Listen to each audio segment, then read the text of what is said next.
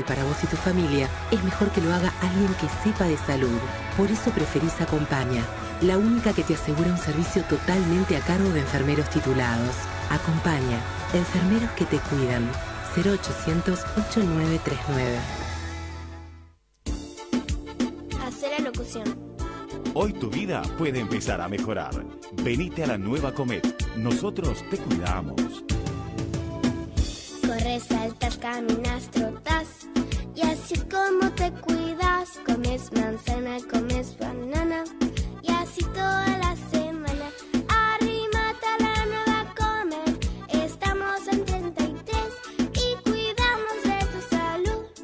De la cabeza a los pies. Está buenaza la movida. Sumate al cambio. Venite a la nueva Comet. Pensá en tu economía, pensá en el medio ambiente. Tenemos reciclados de cartuchos compatibles y originales. Reparación de impresoras, equipos PC y notebook.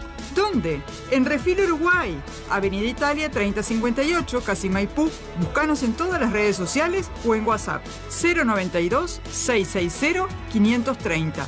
Refil Uruguay. Café Jurado. Directamente desde la planta hasta su propia taza. Siempre garantizando la mejor calidad. Café Jurado. Su cuerpo, su intenso sabor y su aroma hacen de nuestro café un placer único. Desde 1912. Pasión por el café. Sí, hay hábitos que cambiaron para siempre. De ahora en más, si te resfrías usas mascarilla. Otros continúan igual de firmes. Si vos o alguien de la familia precisan acompañante, seguís prefiriendo Acompaña, la única que te asegura un servicio totalmente a cargo de enfermeros titulados. Acompaña, enfermeros que te cuidan. 0800 8939. ¿En dónde estamos? Es una producción de Organización Libertas. www.libertas.uy. Una puesta al aire de CX30, Radio Nacional. Periodismo independiente, libre y democrático. De lunes a viernes, a partir de las 10 a.m. Guión y conducción de Rubén Muyano. Bueno, pues bien, creo que se solucionó el, tema. Eh, me dice que sí, Maxi, trabajando como siempre a 1500 match por segundo, no, un disparate, ¿no? Pero bueno, es un enorme trabajador y ahora sí lo logramos con el doctor Roberto Escos. ¿Cómo te va, Roberto? ¿Qué tal? Buen día, Rubén. Un gusto en saludarte. Siempre tienen estos inconvenientes, ¿viste? Las- los temas tecnológicos todavía no, nos provocan siempre estas cosas, de pronto se desfasa un poco en el tiempo, que la conexión no se logra, o algún detalle, pero bueno, al final se puede hacer. Este, y en esta época tan complicada, ¿no? Época de, de poca presencialidad y, y evidentemente hay que cuidarse y cuidarse un montón porque esto se ha disparado acá y en el mundo y no, no es, este, como dirían mis abuelos, no es moco de pavo. Y precisamente, no es moco de pavo.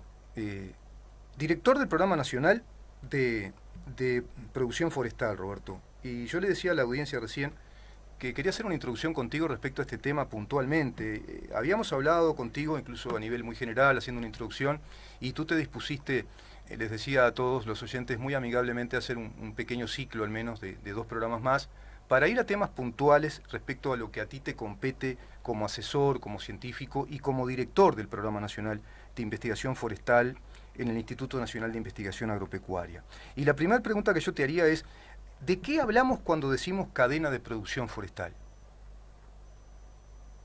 Bueno, ciertamente sí, en primera instancia hablamos de muchas generalidades este, y, y en esta queríamos focalizar algo un poquito más, como habíamos acordado contigo, y en una tercera podemos hablar más específicamente de aspectos en donde INE está involucrado, pero me parece que el eslabón, hablando de cadenas, el eslabón de hoy es, es interesante en el sentido de que existe una cadena, como muchas cadenas de valor. El concepto cadena de valor eh, se utiliza para muchos rubros y aquellos que, que están ahí en, en Google mirando, hay un par de publicaciones interesantes de lo que fue el gabinete productivo, donde hicieron tres libros de cadena de valor, donde están obviamente la cárnica, la arrocera y una de ellas es la forestal. Me parece importante tratarlo porque es una cadena nueva, es un sector nuevo y obviamente muchas de las discusiones que tenemos eh, llevan tiempo y necesitan esa información. Y tú preguntarás, bueno, eh, en línea y la cadena de valor forestal, ¿qué rol cumple y,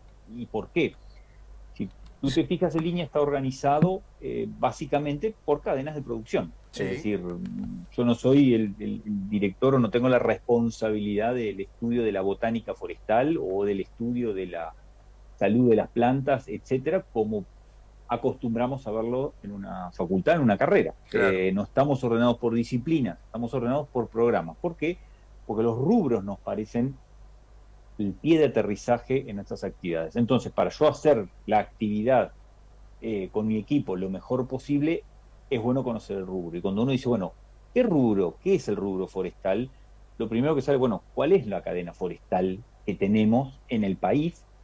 Y ahí me atrevo a decirte de hablar de dos niveles, ¿no? La pregunta es, bueno, ¿existe? O ¿A qué me refiero con cadena forestal? Sí, claro. La cadena forestal es el conjunto de eslabones en los cuales eh, una actividad se este, concatena con la otra para llevar adelante todo un rubro. Por tener un ejemplo muy simple, en el caso forestal, uno puede decir, bueno, tengo genética, tengo un vivero que produce los plantines, tengo una forestación con la respectiva silvicultura, tengo una cosecha, tengo una industrialización de esa madera y tengo una comercialización de esa madera. Eso podría ser una pequeña este, cadena. Ese sería un ejemplo, yo te eh, iba a preguntar eso precisamente, claro. Ese sería un ejemplo. Ese sería un ejemplo bien, bien sencillo.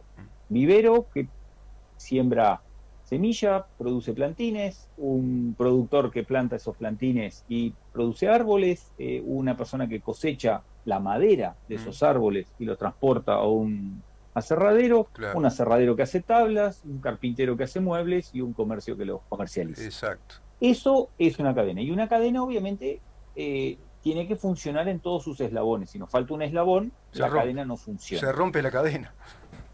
Se rompe la cadena. Y después otro concepto que es interesante en las cadenas de valor, eh, que me parece importante destacar, más allá del rubro forestal, es que, ¿por qué se usa la palabra cadena? Porque una cadena está hecha para tirar. Exacto. Entonces, ¿quién es? Eh, ¿Cómo funciona cadena? Tirando, no está hecha para empujar. Hoy vamos a discutir un par de aspectos que quizás es cosas que nos están sucediendo hoy en Uruguay, que llevan a que capaz que ese concepto no, no, no nos está funcionando bien. Una cadena está hecha para tirar. Entonces, si tengo una demanda, tengo un producto, tengo un mercado, un potencial mercado, ese mercado me va a pedir madera, esa madera va a pedir que esté cerrada, ese cerradero va a pedir logística, la logística la silvicultura, la silvicultura los viveros, y bueno, y ahí la cadena este, tire y funciona. Entonces, básicamente ese es el concepto de cadena. ¿Y Roberto? Y si voy, perdón, y si voy un paso más, esa cadena hay que pensarla que obviamente no es única. Exacto, exacto. Hay un eslabón que luego tiene muchas ramificaciones, ya que hablamos de árboles y de ramas y de... tiene muchas ramificaciones esa cadena. Sí, porque es un principio económico el que estamos tratando y, la economía en definitiva es una gran, una mega cadena de distintos rubros, se podría decir también. Totalmente. Pero a mí me queda esta pregunta, mira, a, raíz de eso que tú formulás, eh, está lo que se llama la primarización de la producción, que es lo que lamentablemente nuestros países han bueno, tenido durante muchos años y todavía lo tienen. Y por otro lado está la, la, producción final o el, o el, valor agregado en la producción, que eso sería como finalizar toda la cadena, ¿no? Este, esa, esa, pregunta es la que yo te quiero hacer. En el rubro de la cadena forestal, eh, ¿tenemos un país que está apuntando o ya tiene indicios de una producción final? Digamos, por ejemplo, lo que tú decías, el carpintero haciendo muebles, este, eh, tableros para coches, no sé, todo lo que tenga eh, madera compensada, qué sé yo, habrá un montón, incluso de, de subrubros, ¿no? De ramas. Y quizás ahí la pregunta, bueno, podríamos pensar que eso que dibujábamos hoy o que explicaba hoy eh, podría ser un esquema ideal o, teórico. Si uno googlea hay un montón de material en facultades donde se enseña y dice, bueno, ¿cómo, ¿de qué está compuesta una, una cadena forestal? Eh, uno podría decir, bueno, hay cadenas y cadenas. No va a ser lo mismo la cadena forestal del Uruguay que en, la cadena forestal de Nigeria, que la cadena forestal de Alemania o la de Canadá por distintas especializaciones, rubros, etcétera, pero también por desarrollo, por tiempo, por historia y por aspectos que, quieras o no, eh, en la cultura productiva se van asimilando. Entonces, como mencionaste la palabra primarización, mm. es cierto, Uruguay tiene muchos de sus rubros eh, esa primarización en el cual el foco fuerte está más a la izquierda de la cadena, donde tenemos la fase primaria y ahí es donde Iña también eh, actúa más. Pero como te comentaba en el programa anterior, eh, si yo, entre comillas, hago árboles, está bueno saber para qué los hago. Yo tengo que saber un poquitito bueno, ¿para qué es este árbol? Porque si es para celulosa no lo tengo que podar, no lo tengo que ralear. Si es para madera de mueblería de alto valor, bueno, no tiene que tener nudos, etcétera. Entonces, y eso empieza en los primeros eslabones de la cadena. Entonces, Uruguay tiene una cadena de valor, es cierto, eh, está graficada en algunos lugares, está esquematizada. Si lo encuentran en las distintas literaturas, eh, se ha esquematizado la cadena en forma, diría que ideal o completa, y luego empiezan a aparecer semáforos. Entonces uno dice, bueno, eh, la subcadena celulósica, pecable verde, está todo bárbaro. Mm. La subcadena carpintería está ahí. Ahí quedó, quedó un silencio. Ahí quedó, no eh, claro, mucho de la parte industrial eh, quizás está en el debe. Entonces, tenemos una cadena en Uruguay. ¿Qué tipo de cadena es? Yo diría que es una cadena incompleta. Incompleta. En los, claro, en los distintos, este, tiene 30 años, 40 años, todo bien, este, pero a las cadenas entiendo que hay que también ayudarlas en, en, su desarrollo y aprovechar las oportunidades que nos dan. Claro. Si tú te fijas en los distintos rubros primarios que nosotros producimos, eh, está bueno evaluar, agarremos tres, cuatro rubros bien sencillos, no sé, una carne, una oleaginosa, eh, leche y madera, por decirlo así, o arroz y madera. Cuatro rubros importantes en el país, etcétera. Así, bueno, si me imagino la cadena, ¿cuántas cosas se pueden hacer con cada uno de esos productos? Em, no conocemos mucho, pero con la madera, porque el país culturalmente no lo tiene, pero con la madera se pueden hacer muchísimas cosas. Eh, no es solo celulosa y luego todo lo que se puede hacer con celulosa, no es solo un mueble, existe la biorefinería, existen montones de productos químicos. Un experto brasilero que recuerdo vino en una, a dar unas charlas una vez y decía el eucalipto eh, es el hidrocarburo del futuro. Porque con las cadenas de celulosa y las cadenas de lignina que constituyen sus troncos, se pueden hacer infinidad de productos. Claro, como que pasamos a una visión un poco, si se quiere, más química. Hemos tenido proyectos en niña sobre producción de bioetanol. En definitiva, la celulosa es azúcar, una cadena de azúcares. Y si yo luego obtener el azúcar, ese azúcar la fermento y tengo para hacer un montón de, productos este, derivados. Entonces, el potencial del agregado de valor, si yo me pregunto, bueno, ¿qué cadena forestal podríamos tener en Uruguay en un futuro? Y no creo que nos alcancen los 20 minutos 30 que tenemos en un programa de radio, no creo que me alcance una diapositiva en una PPT. Ni una conferencia. Eh, pero es interesante, ni una conferencia, es interesante este, buscarlo porque, insisto, hay muchos productos y cada vez más en las fases finales de la cadena, en lo que es ingeniería de madera, reconstrucción de las estructuras de la madera, como te decía la vez pasada, madera líquida, este, madera dura como el acero, y si uno se pone a fijar, gente que trabaja en la química de la madera y le genera una constitución este, especial y se comporta como un material espectacular y proviene de un árbol que se hizo con fotosíntesis. Impresionante, ¿no? Impresionante. Eso también este, este, implica componentes de, implica componentes de conocimiento y lo que tú decías hoy al, pasar, involucrando lo que es el, concepto de una cadena, eh, el tema cultura también, culturizar a la, gente, a la población a, eh, producir determinadas cosas, eh, de pronto no, está instalada todavía esa cultura, este, y, ni que hablar a nivel de formación, de formación este, universitaria, de formación científica.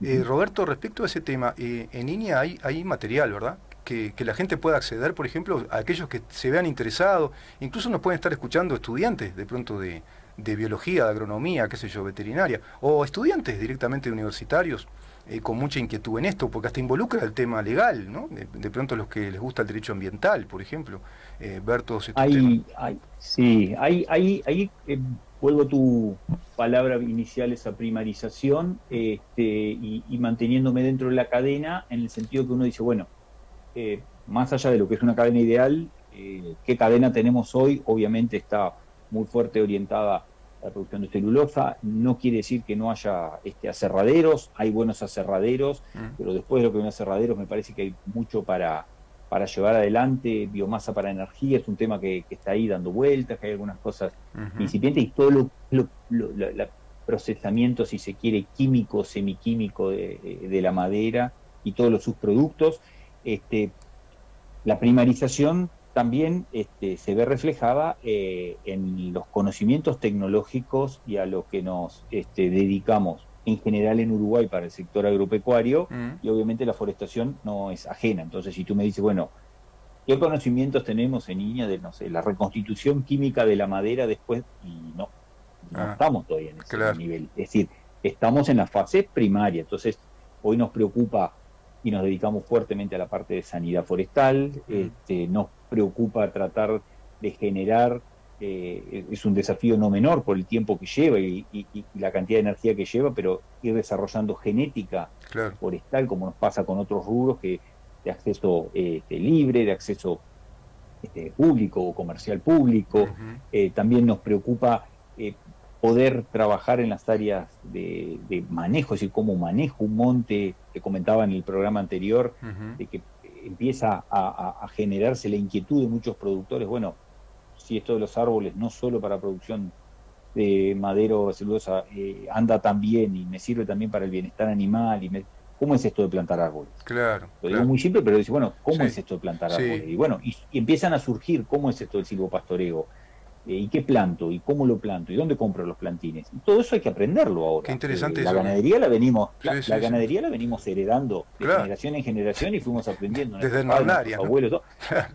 Claro, en agricultura hay, hay por ahí este, algunas cosas que se acercan más. En forestación es todo nuevo. Entonces, Seguro. eh, en INIA hoy estamos focalizados, obviamente por las competencias también que tiene la, la institución. A esa parte, pero se van a encontrar también con gente que está trabajando eh, en la academia en general eh, en temas muy avanzados en usos alternativos de la lignina, este, construcción de madera, etcétera, es decir, facultades de arquitectura, de ingeniería, facultades de, de ciencias químicas, Claro. que también con los cuales tratamos de complementarnos en ese sentido. Quiero saber, Mm. es importante saber para qué hago este árbol. Exacto. ¿Quién- exacto. ¿A quién le va a servir después lo que saque? Y también, no, no menor, pensemos que eh, el árbol es producto y fábrica a la vez, ¿no? Una vez Seguro. que lo corto, me llevé la fábrica, me llevo el producto. Es como que Claro. de una vaca obtengo el ternero y pierdo la vaca. Claro. Claro. Entonces, eh, hay que imaginarse, entonces tengo que tratar de aprovecharlo, las ramas, la- la- las puntas más finas, los diámetros más anchos, eh, la parte que está podada, ¿no? Y eso requiere de que la cadena también esté muy aceitada, porque si yo corto un árbol y me sirve solamente la parte de abajo, Seguro. ¿qué hago con la parte de arriba? Sí, sí, la sí. desperdicio. Y a veces nos, nos pasan esas cosas, porque la cadena, ¿cómo empezó todo esto en Uruguay? Es decir, eh, no es una cadena que si bien tira, Ujú. yo no puedo poner una carpintería para que tire del árbol Sí. y el carpintero me pregunta, bueno, ¿y el árbol? No, aguantame. Claro. 10, No, 15 añitos que claro. yo te traigo un árbol. claro, claro. No, No, funciona así. no tenés los mejores recursos. fomentar. Claro. No, no, no te Claro, contempla. Hubo que fomentar. Esa cadena no te Claro, contempla aún. Este, ahora es. Exactamente. Calculo que la ganadería, la ganadería pasa lo mismo. Y sí, claro. Y sí. Más simple, si no, no se instalaron primero los frigoríficos No, y después vinieron las vacas. Y yo creo Entonces, que la idea, es el gran desafío. esa, Es el gran desafío que tiene el país. Eh, eh, es, salen los árboles, Seguro. pero la, la industria no, no- nos está pasando que la industria no viene sola. Y después, bueno, podemos tener, tú lo conocerás, todas las discusiones de que si el país es costoso para industrializar, etcétera, Sí, sí, que sí. lo, lo dejamos a un costado porque no, no, afecta solo lo forestal. Sin duda. Pero creo que duda. por ahí pasa el, el grado de desarrollo que tenemos. Sí, a- además este logro, logro visualizar a través de tus palabras lo complejo que es el tema. Porque cuando tú decís que todo tiene que estar funcionando aceitadamente, cada, cada eslabón de esa cadena, desde el tipo que tiene que cortar el árbol, saber cómo lo corta, el que lo poda, el que lo planta, cómo plantar, en qué tipo de tierra, bueno, todo eh, larguísimo, ¿no? Este, y que esa cadena esté pensada, como tú decís, desde el, in- desde el inicio, incluso pensada a un nivel institución país, ¿no? Eh, Pensada en, en todos sus eslabones para llegar a, a la cadena completa, que tú decís, bueno, Claro, evidentemente involucra claro. una tarea compleja, una tarea eh, de conocimiento, como tú decís. Y, y yo voy a esta última pregunta, porque el tema, viste que sí, tú tenés razón, da para hacer un ciclo de dos meses por lo menos, ¿no? Porque cada tema que tocaste es como para entrarle a ese tema, este, porque es enorme. Eh, el- eh, la, la pregunta que puede quedar en el ambiente, en, en los que nos están escuchando, es, ¿y el doctor Roberto Escos visualiza algún futuro inmediato, mediato de, de- de resultados respecto a ese tema de una cadena más completa? ¿Tiene posibilidades el Uruguay? ¿Puede viabilizarse un, un proyecto así? Mirá, eh, a ver, podemos pensar en una... eh, eh, en un caso eh, que a veces no son, no son tan este, conocidos, pero me atrevo a, mencionarlo sin pretender hacer este, ni propaganda, ni mucho menos, por favor, es, un caso real. el caso de que en el sector forestal se conoce, es la, familia Valerio. Don Lorenzo Valerio comenzó comprando este, tierras en el norte de Rivera, paso ataques, el que lo busca, por ahí pasa el tren, al este de Ruta 5, perdido en la nada, pero bueno, eran las tierras que se presentaban como de aptitud forestal, este, empieza a comprar tierras, empieza a plantar pinos, luego pone un aserradero, el aserradero crece, eh, de las últimas innovaciones ponen obviamente mucha tecnología, este, ponen una planta de biomasa, recuerden que por cada metro cúbico de madera que entra, si un aserradero es muy eficiente, solo la mitad sale hecho tablas, la otra mitad es acerrín, desechos, corteza, etcétera, es un producto de la fotosíntesis y tenemos que poder aprovecharlo. Es un desafío importante. Pusieron una planta de biomasa con la política agroenergética, este, bioenergética que tenía el Uruguay. este, y fíjate lo interesante, eh, ellos lo fueron construyendo en esa forma. Eh, lo que se planta ahí es pino, el pino que se planta es Pinus taeda, el Pinus taeda es oriundo del sureste de Estados Unidos, del suroeste de Estados Unidos, y si hoy lo llamás y le preguntas, ¿dónde son los lugares donde hoy están exportando muy bien esto? Mm. Estados Unidos. Mira. Entonces vos decís, ajá, funciona. ¿Hay algún problema en el mercado? No, mercado hay. Bien, ¿Es complejo la industrialización? Sí, es compleja. La logística es compleja, hay que llevar los troncos, hay que sacarlos, hay que traerlos, hay que llevarlos a Montevideo y todo. Ese tipo de empresas, digo la del pino porque también hay en eucalipto, pero la del pino lo que es interesante. También, por ejemplo, han exportado pino a Chile, que es el principal productor de madera de pino, uno de los principales del mundo, de pino plantado. Sí exportaron y siguen exportando madera a Nueva Zelanda. Se ven las estadísticas. Sí, Hace poco salieron, ¿no? La comercialización, salió el informe de comercialización de exportación y uno ve madera y se exporta a, Nueva Zelanda y a Chile, que son países pineros por excelencia. Entonces, claro, yo digo, es como que nosotros le exportáramos carne argentina. Claro, claro. si el mercado está y funciona y nuestra carne tiene, eh, entonces esa, esa es mi visión que digo, se puede Sí, sí. Eh, ¿Requiere energía? Sí. ¿Requiere conocimiento, experiencia? Sí. Ya van dos generaciones de esa familia trabajando en ese, en ese emprendimiento y, la verdad que uno lo ve y dice, ¿por qué no hay más de estas cosas? ¿Cuál es la zanahoria que a lo mejor nos está faltando, como existió la zanahoria para forestar? ¿Nos estará faltando alguna zanahoria para industrializar? ¿Nos estará faltando la zanahoria en la oportunidad del agregado de valor y obviamente el análisis después termina siendo más económico, pero claramente un rubro de esas características, hoy no sé, para que tenga una idea, la empresa ronda aproximadamente las 10.000 hectáreas y, una capacidad de industrialización de más de 100.000 metros cúbicos, etcétera, pero mueve aproximadamente directamente entre 150 y 200 personas de la zona. Entonces uno dice directo, más todo lo que viene indirecto, servicios. Seguro. Entonces, el impacto yo lo veo acá en la región eh, y uno ve, y la forestación ha dinamizado muchísimo en la región, principalmente la ganadera, y hoy ves galpones, ves maquinaria especializada, ves camiones de última generación, ves talleres, talleres especializados de las cosechadoras, eh, vas a comer a, algún restaurante conocido con hotel eh, aquí en Tacuarembó y escuchás hablar en inglés, escuchás hablar en francés y después te enterás, no, es el técnico que vino a hacer el mantenimiento de la máquina de tal o cual empresa. Entonces uno dice, opa, esto, esto se mueve. Entonces visualizo un potencial en el desarrollo de la cadena bien interesante y ojalá que ese potencial también lleve a que, como pasa en algunos países, sea algo más este, subdividida en, los eslabones. Es decir, que no sea todo uno. Que bueno, yo tengo mi vivero, mi forestación, mi planta, mis camiones, mi cosechadora, todo. Sería bueno si logramos, lo mismo para otros rubros, si logramos una, un nivel de integración, exacto, un nivel de integración algo más bajo, pero claro, que exige que la cadena esté aceitada, porque si yo pongo un aserradero y no consigo madera, claro, claro, eh, me genera.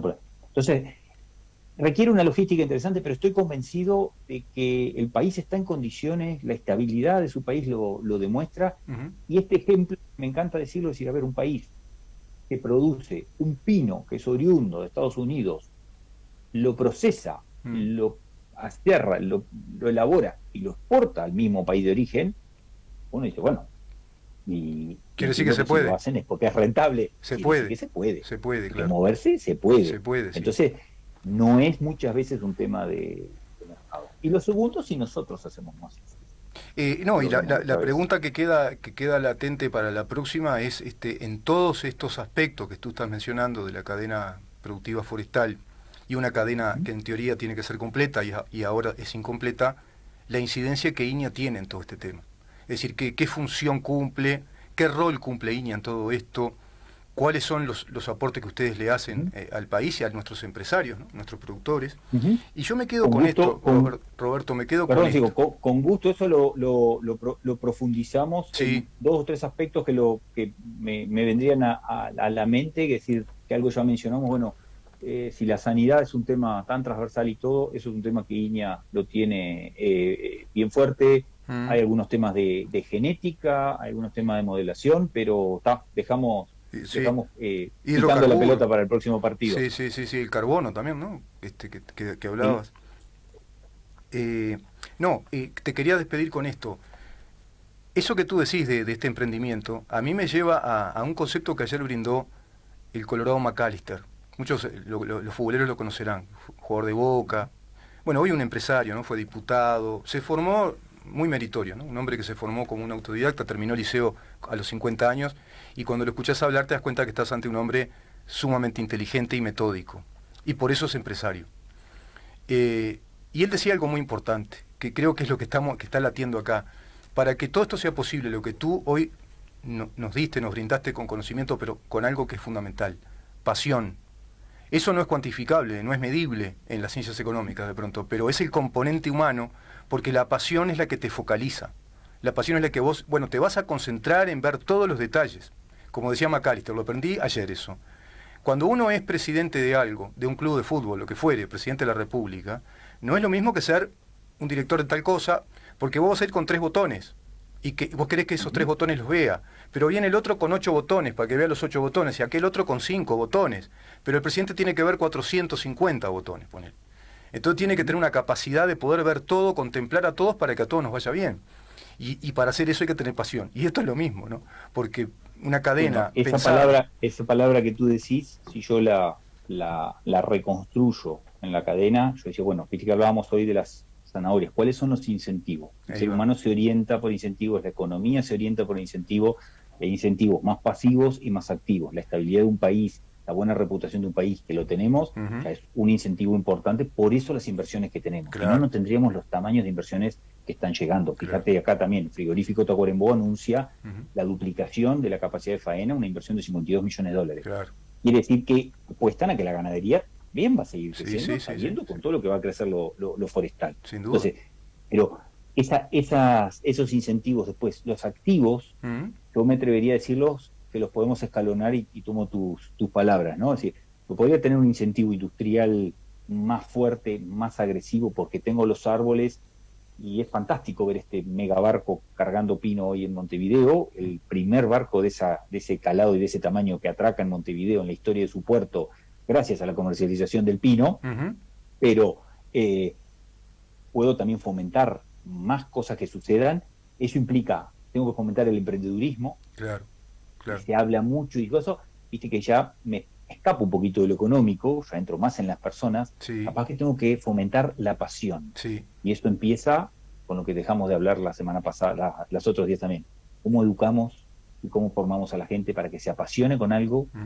le dedique y lo haga. Porque si vos ves y hablas con esta gente, eh, con la familia Valerio, y ves a sus hijos y a dónde van y lo que te dicen, y Roberto, la valijita, subirse, salir, vender, promocionar, buscar, evaluar, resolver problemas, todo. Claro, claro. Y eso es una mezcla de emprendedurismo y este, de pasión. Así que coincido con todo, ato esas cosas y bueno, eh, nos consideramos desde Iña también apasionados por este, por este sector, a pesar de que quizás trabajamos en tres o cuatro cosas muy concretas, pero me siento parte de ese, de ese sector y me gusta hablar en primera persona eh, del plural. Nosotros los forestales, todos, de la academia, el gobierno, la privada, todos estamos en ese, en eso y cada uno juega un rol. Así que bueno, en el próximo capítulo, si te parece, detallamos algunas cosas más específicas de ¿Cómo no, cómo no, Roberto? Me consta que es así. Y, la, verdad que eh, muchísimas gracias. Muchísimas gracias por todos estos aportes, esa pasión y ese conocimiento para seguir hablando de esto que le importa mucho al país, le importa muchísimo al país y, le va al futuro. Y diste con un punto, la, educación va a tener que estimular muchísimo en todo eso. Y quedamos para la próxima entonces, Roberto, quedamos para, para conversar sobre esos otros temas, la incidencia de INEA, en el tema de sanidad, en el tema también la fuente energética que puede producir. Y bueno, seguimos conversando sobre todo esto. Un gran abrazo, Roberto. Muchas gracias, Rubén, a ti por el tiempo, por el espacio y bueno, espero que que las discusiones y, y los contenidos ayuden a, seguir enriqueciendo nuestra cultura general en lo, en lo productivo del Uruguay. Saludo a ti y a, toda la audiencia. Será hasta la próxima. Hasta la próxima, Roberto. Bueno, estuvimos conversando con el doctor Roberto Escos, eh, director del Departamento bueno, Nacional de Deforestación en INIA. Y, bueno, conversamos un tema muy importante, muy importante, y que vale la pena seguirlo, y, esto involucra mucho, ¿no? Involucra lo que ahora dijo el pasar al final de la nota, eh, la voluntad del gobierno, vamos a investigar eso también, qué voluntad presenta el, gobierno para, para darle más infraestructura, más competitividad, más estímulos a esa cadena productiva forestal dentro de las grandes cadenas, de los rubros de producción como la cárnica, como bien él lo decía, también la rosera, por ejemplo, este, ni que hablar también toda, toda, la cadena agrícola, que, es muy importante, y la cadena forestal. Tema para, para tratarlo y, tratarlo a ese nivel, ¿no? a un nivel país, porque le, le va el futuro al país en todo esto. Vamos a una pausa, ¿te parece, Maxi? Y seguimos.